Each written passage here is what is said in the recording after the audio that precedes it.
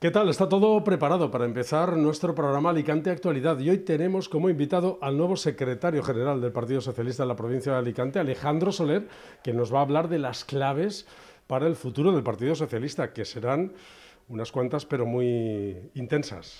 Pues un placer será estar aquí con vosotros y con vosotras y poder contaros un poco cuál es el proyecto del partido para los próximos años. Vamos a preguntar de todo, ¿eh? hasta incluso aquellas preguntas que nuestros espectadores se imaginan. Bueno, yo me lo imagino también, me lo imagino, yo estoy aquí a vuestra disposición para contestar aquello que me sepa.